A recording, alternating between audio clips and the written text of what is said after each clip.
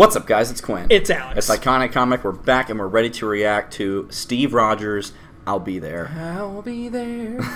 this is uh, same guy who's been doing the last couple of videos we've watched. Uh, one about, we just watched with Thor, uh, and we did one about Tony Stark. It's like these little, you know, kind of compilation videos, but it's kind of a little character piece in itself. All of them. It's like a recap. Let's just watch it. God. All right, stop. Three, two, one.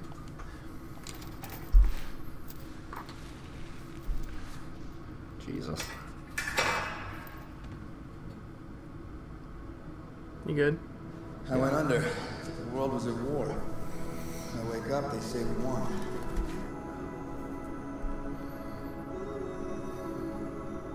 They didn't say we lost.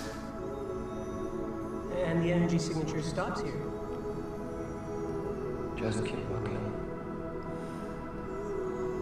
I love that shot. Steve? Steve? Hmm. The serum amplifies everything that is inside, so good becomes great, bad becomes worse. The story of Captain America is one of honor, bravery, and sacrifice. To the captain.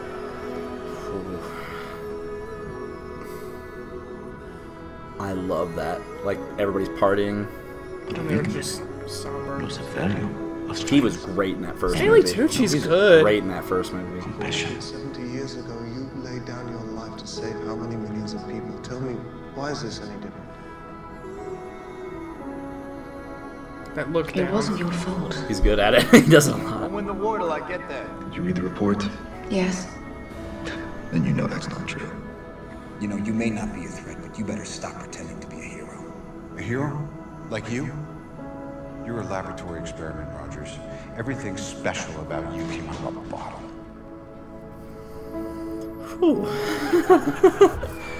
God damn these videos. damn it. Are you ready for our dance? You know, I still don't know how to dance. Fuck out of here.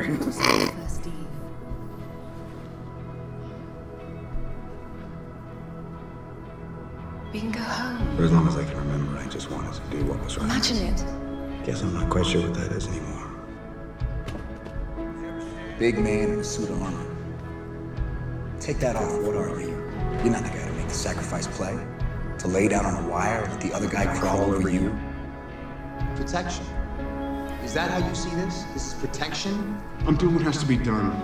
I'm trying to keep trying to keep you from tearing the Avengers apart. Even when I had nothing. Fuck. Pick on someone your own size. Best friends since childhood. Bucky Barnes and Stephen Rogers were inseparable on both schoolyard and battlefield. Barnes Both schoolyard and battlefield. I never heard that. That's awesome. in service of his country.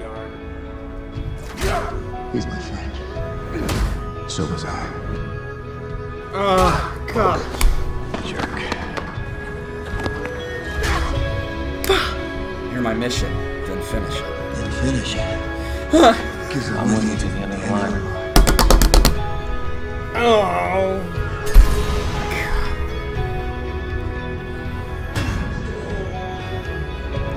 You know how much that pained him to do that?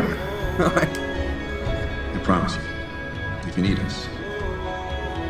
If you need me.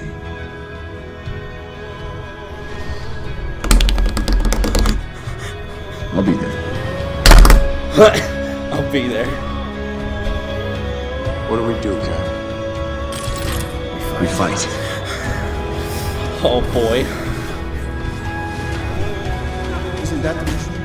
Isn't that the why we fight? So we can end the fight? So we get to go home? I gotta put her in the water. Oh, it's gotta end with the. This guy's still alive.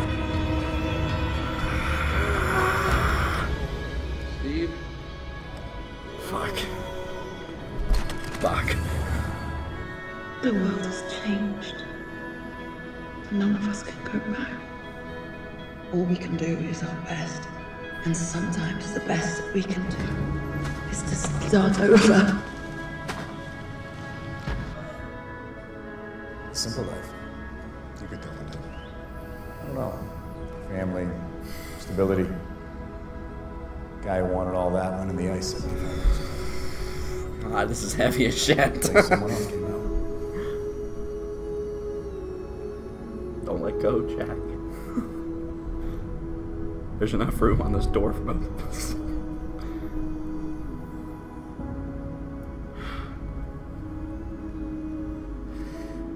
Oh God.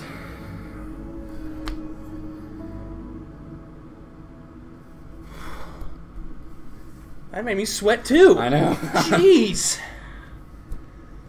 Seriously, like that one scene in Ultron where they're like going through like their fears and their Mhm. visions, and the last thing in that dance hall thing is him turning around and the whole place is empty. That's why he needs Bucky because he feels so goddamn alone in this world that he's out of time. Like he's, I mean, he has friends in the Avengers, but he is so alone because he's the only one from that time. So it's like Buck is that last connection. That's why immediately after that shot they showed him with Bucky. He's, he's the only one that can connect him that way. Dude, I don't. Fuck DC. You, uh, you, you just you really get a sense of what they really cause, like we we know what they've been through because we've seen all the movies but when it's focused like that you really get a sense for what they've actually been through this guy can cut yeah, a video um, together Make sure you go subscribe to this guy. Um,